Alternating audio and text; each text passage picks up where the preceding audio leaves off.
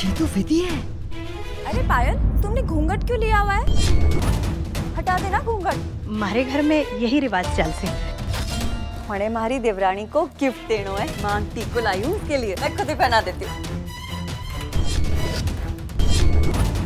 पायल के माथे पे भभूत लगा दो। श्रीनाथ जी भलो करेगा। ए मेरे हम सफ़र। सोमवार से शुक्रवार शाम सात बजे दंगल पर।